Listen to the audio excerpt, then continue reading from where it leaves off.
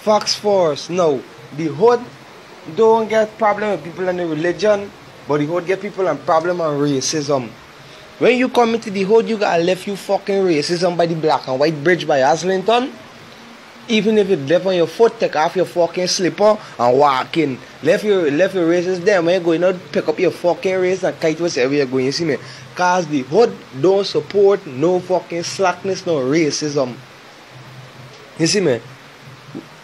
When I say we, I mean individual. We are Muslim and we have our ear, so we know our ear every fucking thing you do. We ain't gotta see you do it. You see, man? But your actions, your deeds, when we come close to you, your deeds is one hype up. You see now, you're hyping up all the intentions and arrogance. You see, man? Yeah, now watch the back drift and the after drift of it. You see, man?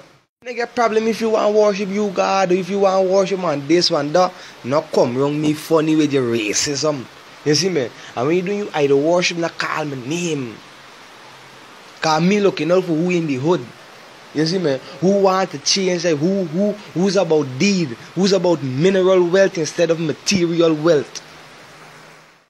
When you come around me, you gotta come around me with mineral wealth and these wealth. Me care about your material wealth and your material wear because this map, mat and broom. You gotta come around me with mineral